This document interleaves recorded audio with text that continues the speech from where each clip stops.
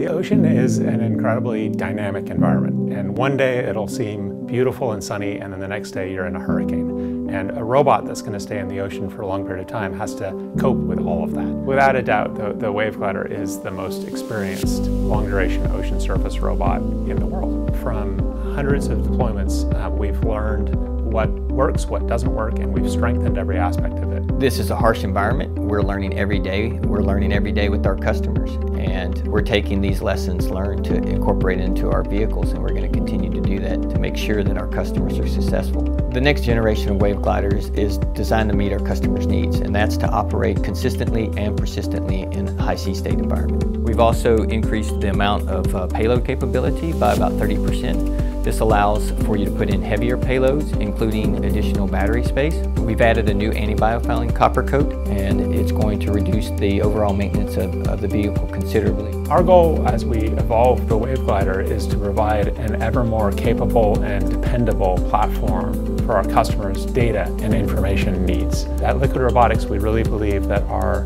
customer success is our success, and we thrive on the fact that our customers are doing such important and pioneering work whatever you need, whatever it takes, we're going to help you get the job done.